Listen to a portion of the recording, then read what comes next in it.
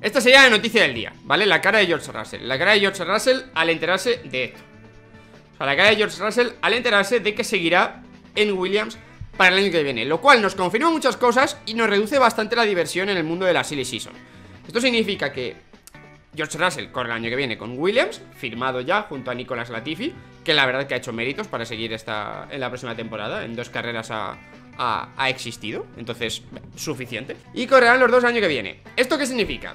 Primero, no hay hueco en Williams para nuevos pilotos, obviamente. Segundo, George Russell no irá a Mercedes porque en Mercedes renovará botas, seguro, ¿vale? Sería la única opción lógica. Russell yéndose a, a Mercedes. Y tercera, tampoco existe la opción que yo pensaba que quizá podría existir en algún momento, aunque ya parecía que no, de que Russell ascendiera un poquito y a lo mejor corriera en Racing Point, Aston Martin, algo así. Tampoco. Así que... Nada. Eh, si os apetecía eh, Chili Season, iba a decir. Eh, chili Season. O sea, como una Chili Season, pero más picantona. Si os apetecía Chili Season, pues os esperáis a 2021. A ver qué tal. O sea, yo ahora mismo, tal y como han empezado la temporada, viendo que están mejorando deportivamente y viendo el apoyo económico que tiene que estar aportando la Tifi, ahora mismo no creo que exista ningún peligro. De verdad, o sea, igual que creía antes de empezar la temporada que Williams este año lo iba a pasar muy mal, los estoy viendo más sólidos que el año pasado. Creo que se han reestructurado bien y que Williams va a seguir existiendo, ¿vale? Sin patrocinadores importantes, que eso es algo grave, pero con Russell, por ahora, con Russell, perdón, con Latifi pueden ir tirando y con el apoyo muy serio de Mercedes también. Me hace mucha gracia la cara de Russell. Es la cara de menos ilusión, es la cara de menor ilusión que existe por correr en un equipo. O sea, en cualquier otra época de la historia de la Fórmula 1 te dicen que ha renovado por Williams y la cara no es esta, la cara es de felicidad. Pero en el momento actual, siendo George Russell, te dicen que has fichado por Williams y no puedes poner otra cara. Sin embargo, Latifi está más... Bueno, tampoco crees que Latifi está muy contento. Latifi tampoco está muy contento. O sea, Latifi también ha tenido mejores días en su vida, ¿eh? Te digo, en la Fórmula 1 actual, teniendo en cuenta que faltan dos o tres equipos para que no falten pilotos, en general debería haber dos o tres equipos más, creo que tampoco es para quejarse de seguir en Williams, porque podría estar fuera de la Fórmula 1, directamente, ¿vale? Y entre estar en Williams, estar fuera, mejor estar en Williams. Pero es cierto que Russell es un piloto con nivel que yo creo sinceramente que ya tiene nivel Mercedes. O sea, evidentemente todos necesitan un año de adaptación, todo lo que tú quieras, pero ya podría estar en Mercedes perfectamente. Y no creo que diera el cante respecto a Valtteri Bottas. De hecho, estoy prácticamente convencido de que superaría el rendimiento de, de Valtteri Bottas. Pero es lógico que Mercedes no, no quiera arriesgar. Es que es muy lógico. Es que al final, una cosa es lo que queramos nosotros en la Fórmula 1 que suceda y otra cosa es lo que pueda suceder. Yo también lo espero, Mauro, que, que, Russell pueda ser la primera opción de, de Mercedes para, para, cuando se retire Hamilton. Pero es que a ver cuándo se retira Hamilton. O sea, no tiene prisa Hamilton por retirarse, ¿eh? Tenemos más prisa nosotros porque Hamilton se retire que el propio Hamilton por retirarse. o sea, tenemos más ganas nosotros como espectadores de que Hamilton diga, me aburro, me voy, que, que el propio Hamilton, ¿eh? El propio Hamilton está muy a gusto, creo. O sea, no, no os penséis que, Hamilton está pasándolo mal. A ver, sobre el tema, vamos a hablar ya de esta, de esta noticia, ¿vale? Porque es de las más, de las más importantes de los últimos días. Eh, más allá de la broma de subir yo el otro día un vídeo hablando de, de Sebastián Vettel y Red Bull, que era uno de los rumores que más se hacían, y se ha visto a Vettel en los, en los corralitos del paddock, hablando con Dietrich Mateschitz, que es el jefe de, de Red Bull. Más allá de, la broma de yo subir un vídeo hablando de ese rumor y explicando por qué creo que tiene sentido el movimiento de Sebastián Vettel a Red Bull y tenéis un vídeo en mi canal en Fórmula Fons hablando de, de ello, más allá de ese tema y de la broma que sea, eh, decir voy a publicar este vídeo a las 7 y media y que esto salta a las 7.20, que, que es bastante gracioso, al menos desde fuera, eh, yo cuando comento un rumor, en general en el canal, es porque con mi lógica de llevar tanto tiempo viendo la categoría, le, le sacó algo de sentido, ¿vale? Yo, yo veía sentido, veo sentido en la maniobra de, de Sebastián Vettel y Red Bull. Veo que tiene un trasfondo lógico, ¿vale? Veo que, que hay eh, argumentos racionales que te implican a pensar que Sebastián Vettel y Red Bull podrían reencontrar sus caminos en 2021 según las circunstancias de Alex Albon y todo lo que tú quieras. El tema de Aston Martin y Vettel se lleva rumoreando también tiempo. Se lleva rumoreando tiempo, pero yo no le veía tanto sentido, ¿vale? No, no le veía tanto sentido porque Racing Point Aston Martin año que viene, tiene dos pilotos. Un piloto muy bueno y un piloto que tiene una relación muy especial con el, con el dueño del equipo, ¿vale? Habría que ver la relación entre Lance y Lawrence Stroll, porque yo creo que son algo más que jefe de equipo y piloto. O sea, algo tiene que haber ahí, algo tiene que haber ahí, secreto, algún tipo de relación interpersonal que se nos escapa, ¿vale? Por la cual Lance Stroll en Racing Point Aston Martin aparentemente es intocable, ¿vale? No, no sé el qué, no sé a qué se puede deber. Pero Lance Stroll, por lo que sea, se lleva muy bien con Lawrence Stroll, algo tienen entre los dos, y, y ese hueco parece intocable. Y después Checo Pérez, que tiene ya contrato para el año que viene. Y yo no veía sentido en que, en que despidieran al piloto mexicano. Primero por su rendimiento deportivo, que no es en absoluto malo. Y segundo por eso, porque ya tenía contrato, ¿no? Y al final también entra dinero de México. Vale que Lorenz Stroll tiene el dinero por castigo. Lorenz Stroll llega a su casa, hay muchísimo dinero y a veces no tiene hueco. Tiene un salón a posta para guardar el dinero, Lorenz Stroll. Y ese salón podría tener un futbolín. Y no puede porque tiene muchísimos billetes y no le entra el futbolín y se le meten los billetes por las porterías y no puede disfrutar de un partido de futbolín. Entonces, a pesar de eso, el dinero de México no creo que le venga mal. Y los patrocinios de México y de Carlos Slim no creo que le vengan mal. Pero, insisto, olvidémonos de tema patrocinios y tema deportivo. El otro día yo me senté conmigo mismo delante del espejo y dije, vamos a intentar sacar lógica a este movimiento. Porque, insisto, hay medios, ya como Motorsport aquí lo veis, que dan por hecho que Sebastián Vettel va a firmar el contrato con Racing Point. Lo dan por hecho. O sea, es algo que va a suceder. Según esto, va a suceder. Yo me lo creo. No conozco a Roberto Chinchero, no lo conozco, no tengo el gusto. Pero en este medio normalmente no se inventan las cosas. Y no lo digo porque tenga amigos aquí, porque mis amigos no me pagan nada aquí, pero es un medio que me suelo creer. Entonces, ¿cuál sería? ¿Cuál sería para mí? Y ahora os leo, ¿vale? Y hablamos entre todos. ¿Cuál sería para mí la única razón lógica por la cual Aston Martin eh, Racing Point Group Engagement querría fichar a Sebastian Vettel para su equipo? Y la única lógica que se me ha ocurrido es que sea presión de Daimler. Y os explico, ¿vale? Porque esto es complicado. Esta, insisto, es mi teoría, es mi forma de verlo y es la única lógica que he sido capaz de sacarla al movimiento.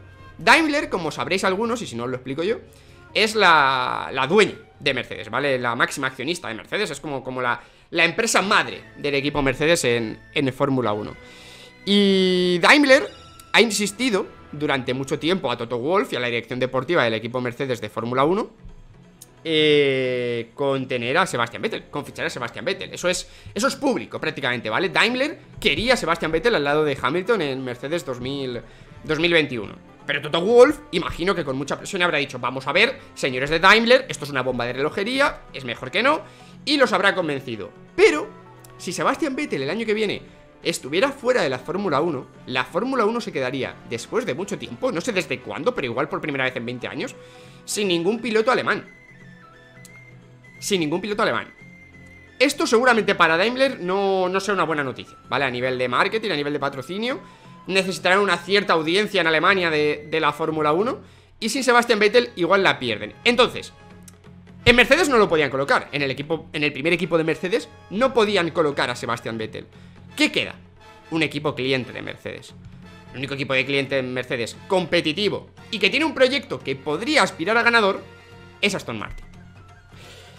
Mi teoría es que Daimler, en cierta manera, ha presionado a Lawrence Stroll con o metéis a Sebastian Vettel en el equipo o no tenéis motores Mercedes el año que viene. Porque por dinero no será, ¿vale? Lawrence Stroll se podría pagar el motor que quisiera, pero seguramente ningún equipo quiera venderle el motor, porque igual el proyecto es demasiado competitivo. Entonces, ¿queréis motores Mercedes? ¿Queréis seguir con motores Mercedes Lawrence Stroll? Tenéis que meter a Vettel. Esta es mi teoría, y de alguna manera... Daimler o Sebastian Vettel de forma indirecta se comprometerá a pagar la indemnización de despedir a Checo Pérez, porque insisto, la relación entre Lance y Lawrence Stroll es muy personal, es muy estrecha y es imposible eh, romperla, o al menos parece imposible. A mí me parecería lo lógico, prescindir de Lance Stroll y fichar a Checo Pérez y probablemente colocar a Lance en algún otro equipo. Pero ahora viendo la renovación de la que hemos hablado antes de Williams con Latifi y Russell, se me agota una de mis otras teorías que era que Stroll volviera al equipo Williams y de alguna manera les ayudara económicamente mientras Vettel iba a Racing Point, ¿no? Que de cierta manera Lawrence Stroll manejara un poco el presupuesto de los dos equipos. Esa opción se ha roto, entonces para mí esto es renovación automática de, de Lance Stroll en Racing Point. Mi teoría, final, mi resumen, Daimler, la propietaria de Mercedes, ha presionado lo suficiente a, a Lawrence Stroll para decirle o metes a Vettel en tu equipo o no tienes motores Mercedes para el año que viene. Y a estas alturas de la temporada no podrían buscar otro motorista, ¿vale? Sería imposible y podría ser un desastre. Así que esa es mi... la única razón lógica que le he encontrado a ese interés, digamos, tan repentino de Aston Martin por el piloto alemán. Más allá de los méritos deportivos, de que sean cuatro veces campeón mundial, de que a nivel de marketing va a ser muy bueno, evidentemente, la razón principal que yo le encuentro a este movimiento es única y exclusivamente presión de Daimler para tener un piloto alemán en parrilla. Deportivamente, ¿alguien cree que ahora mismo, y mira que Vettel, que sí, cuatro mundiales, que yo lo considero uno de los mejores pilotos que ha tenido la Fórmula 1 este siglo, vaya por delante, pero a día de hoy, ya no hablo de que sea mejor o peor, probablemente sea mejor piloto eh, Sebastián Vettel, pero a nivel anímico, o sea, viendo su estado anímico, ¿de verdad alguien cree que puede ofrecer mejor rendimiento deportivo, puramente deportivo, que Checo Pérez? Yo no, yo, yo la verdad que no. Pérez lo tiene muy chungo, lo siento por él, pero tiene pie, y medio fuera. Bueno, es que esa es otra. El tema de Pérez, de confirmarse esto, que parece ser que se va a confirmar. Vamos a leerlo, por cierto. Eh, se queda sin, sin, equipo. O sea, en Haas y en Alfa Romeo no le veo hueco. O quizá para Haas, para salvarlo de, de cierta manera con patrocinios. O sea, solo, solo le veo Haas. Solo le veo Haas que entre con sus patrocinadores en Haas. Y como al final Haas es un equipo americano, Pérez es mexicano y y la relación entre el mercado mexicano y el americano es muy estrecha, es la única opción que le veo. Deportivamente es una, una caída muy importante, ¿no? Pero al menos se seguirá en Fórmula 1. A ver, vamos a leer qué pone aquí de todas maneras. Oficialmente el mexicano tiene un contrato multianual con Racing Point, que se anunció el pasado 30 de agosto, pero las cosas han cambiado. El equipo está cada vez más vinculado a Mercedes y las ambiciones del propietario Lawrence Stroll han crecido considerablemente. Esta es la clave, que el equipo cada vez está más vinculado a Mercedes. Para mí esa es la clave. De hecho, están los rumores todavía de que igual Mercedes desaparece y se queda como motorista Aston Martin y ya dentro de unos años. Esto sí que no me lo creo, ¿vale? No me creo que Vettel se vaya a Racing Point a Aston Martin como pasaporte a Mercedes. Creo que se va a Aston Martin es para correr en Aston Martin. Que Mercedes no, no lo va a considerar una opción. De verdad, ni aunque se retirara Hamilton, que es lo que comentan aquí. Eso sí que no lo veo. Eso sí que no lo veo. Y aquí hablamos de Haas y Alfa Romeo. En Alfa Romeo no lo veo, porque Alfa Romeo al final es como una especie de, de Alfa Tauri para Ferrari. Y no, no tendría sentido meter a Checo Pérez ahí. No, no tenía ningún sentido. Teniendo en la cantera a Mick Schumacher, a Schwarzman, no, tendría sentido. De verdad, me extrañaría muchísimo. Solo le veo hueco en Haas. Solo le veo hueco en Haas. Pero bueno, os leo. Que Checo vaya a Haas es peor que sea la Fórmula 1. No creo, ¿eh? De hecho, fíjate que de las opciones que le quedan a Checo, más allá de ser la única, sin ser una buena opción, evidentemente lo mejor para Checo sería seguir en, en, en Racing Point Aston Martin, obviamente. Pero sin ser una... siendo un descenso de, categoría deportiva, digamos, casi. Eh, no es mala opción. Creo que quizá Haas con unos buenos patrocinios mexicanos y un... Y unos buenos sponsors podría, podría aumentar su nivel. O sea, al final es que ahora mismo Grosjean no es un piloto de pago. Grosjean no es un piloto de pago. Magnussen un poquito sí. Magnussen entró por pasta, sobre todo cuando entró en Renault en 2016. Pero quizá económicamente Haas podría crecer y se podrían retroalimentar de cierta manera. Estamos hablando para volver a ser un equipo de media tabla. Obviamente, ¿vale? Haas no, no tiene un proyecto ganador. Pero oye, mejor que estar en otro, en otro equipo.